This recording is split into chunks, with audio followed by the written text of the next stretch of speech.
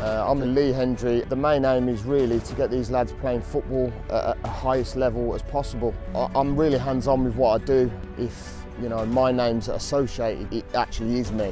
And obviously the main other feature that we, what ties with the academy is that we do the education side, which is, is, is vitally important because if some of these lads don't actually make the grade as a footballer, they've got extra options.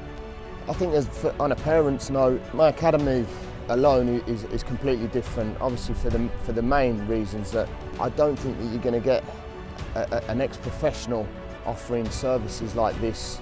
I've been at the top level, I've played at international level, and I've learned so much backing from training, and that's what I try and bring to my sessions, and that's what I want to offer to make sure that they get the best out of this.